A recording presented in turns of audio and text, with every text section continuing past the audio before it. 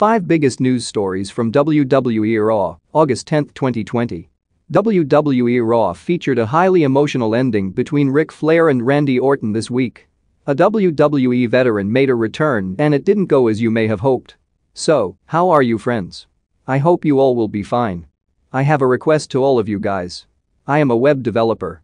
If anybody of you want to get your website built or of their friends and family, then contact me on given number in description. I can make all types of WordPress websites like websites for repairing services, business portfolio, import and export, and sites for Google Ads. Also subscribe to help me out.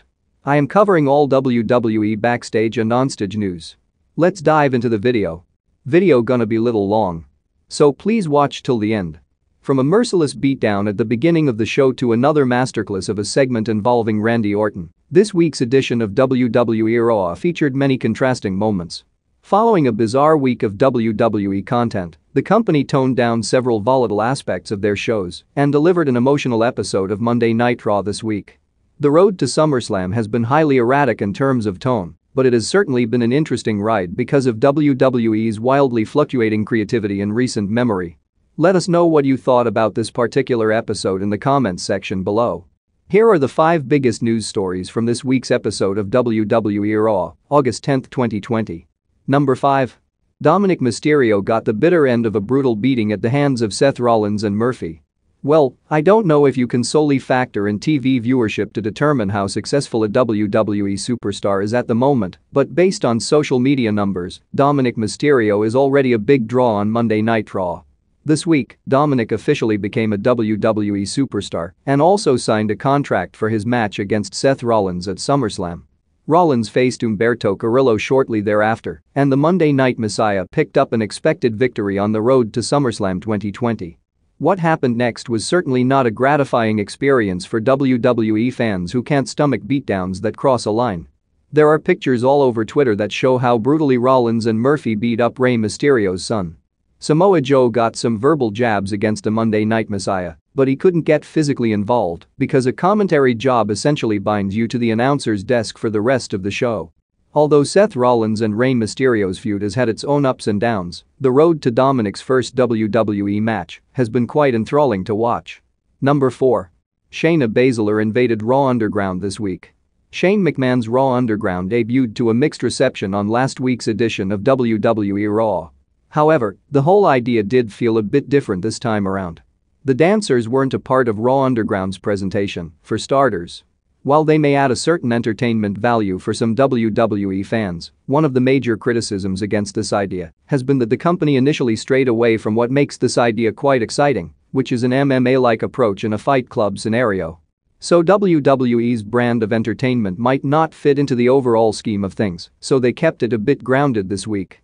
Dabba-Kato made a comeback, and former Olympic wrestler turned NXT superstar Arturo Ruas had an impressive showing on WWE's Raw Underground. But the rumors came true in the form of Shayna Baszler's appearance, who wiped out several women during this segment. Number 3. Apollo Crews suffered a defeat before his US title defense against MVP at WWE SummerSlam 2020. The Hurt business has been on a roll in recent times, but MVP wanted to address his loss to Apollo Crews from last week's episode of WWE Raw. It was funny how despite being surrounded by two strong athletes, MVP chose to opt for the whining heel route to explain his loss. He blamed flickering lights and an unsafe working environment for not having the US title belt strapped around his waist.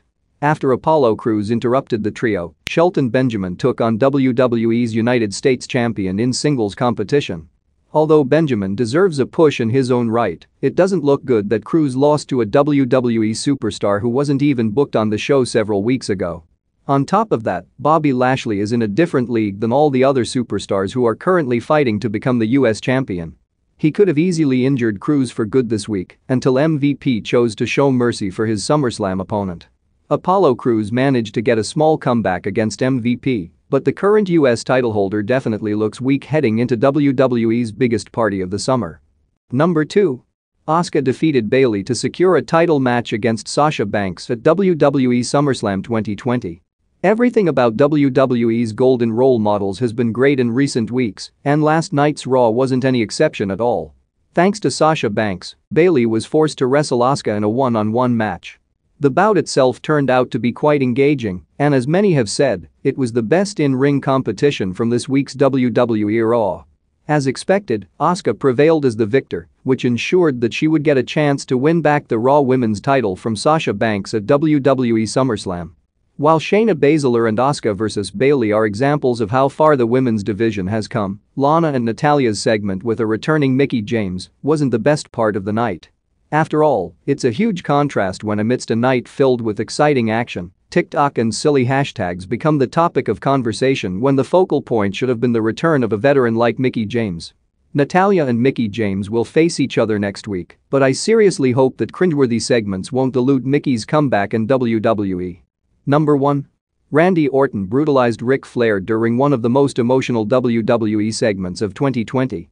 Kevin Owens vs Randy Orton was supposed to be the last part of this week's WWE Raw, but what we got was a highly emotional segment to close out the show.